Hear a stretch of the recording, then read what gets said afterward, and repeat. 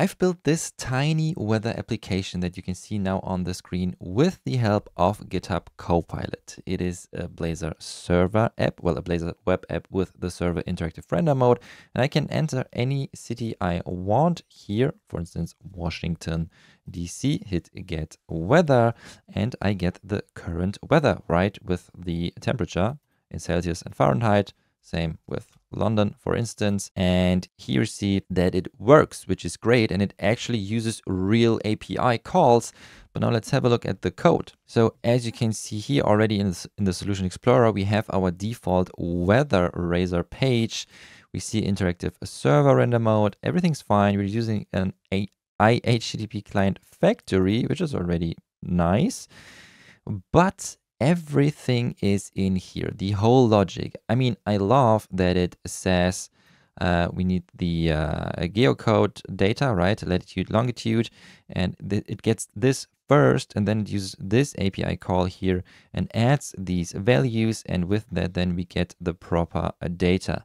Now, this is done in seconds or minutes, which is great. But again, the whole architecture, the structure, maybe not best. You see all the models are in here. Everything is just in this one single Razor file.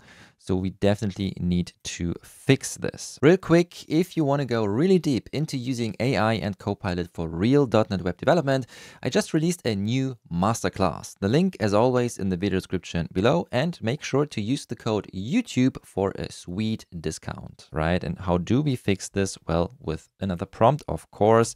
Maybe you've seen the other videos where we already used refactoring prompts with the service layer, but today I want to use something differently, and that would be be feature folders and vertical slice architecture.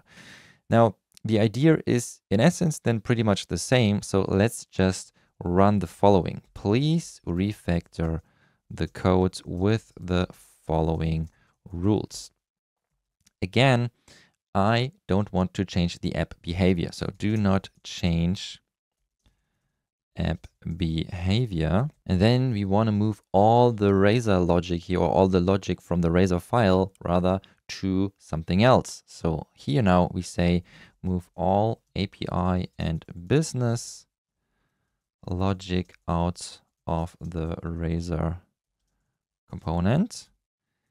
And then we want to use dependency injection if it is necessary or if it makes sense, let's say, because we also want to structure this now with vertical slice architecture.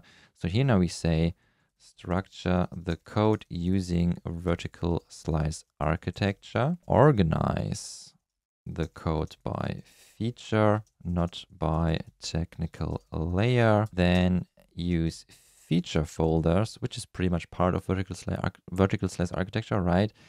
So one folder per use case, then keep razor components, components focused on UI only. Maybe we go even deeper and say use CQRS and mediator, then make the code readable, testable, and maintainable use best practices, which is pretty generic, but still it works, and add XML summary comments where appropriate. Let's run this and now I am excited. Let's see what is the result.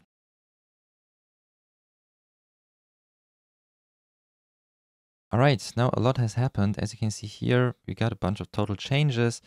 And here it already says, I refactor the code following vertical slice architecture with CQRS and mediator.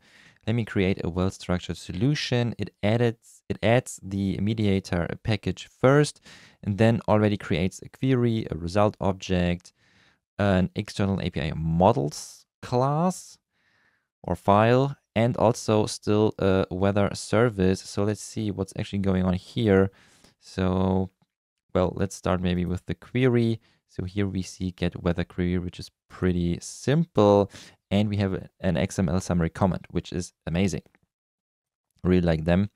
We have a result object, which is also pretty great. And then we have, okay, this is what I missed. So here's the query handler. This is great. So it, it takes the uh, weather query, get weather query, right? And then we get, or we return then the get weather results. Everything's fine.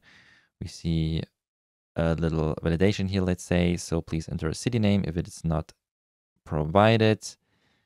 This is nice. And then still we have this service. And I guess this is used for uh, the actual API calls. So geocode or geocode location async and get weather data async. Yep, this makes a total sense. Again, we have the beautiful XML summary comments and down here then we see the actual calls. So this works for me.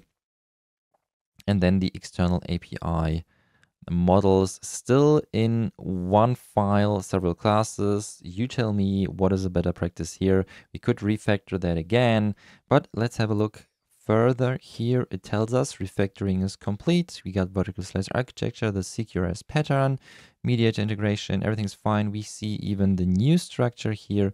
And yes, we can actually confirm that here in the solution explorer we can restart the application and then see here we still get the whole weather data. This is nice, but you know, this thing here, this is something that we would have again we, we need to refactor this again, maybe, if you want to refactor that. But we can actually save all these refactoring steps. We can actually do all that upfront with the help of the magical instruction file. Because if you use an instruction file, you can tell Copilot right at the beginning what code guidelines you want to use, what structure you want to use, like the vertical slice architecture here, what uh, patterns you want to use. And if you want to know how to use an instruction file and how to tell Copilot then how to do everything with your prompts, just watch this video here next.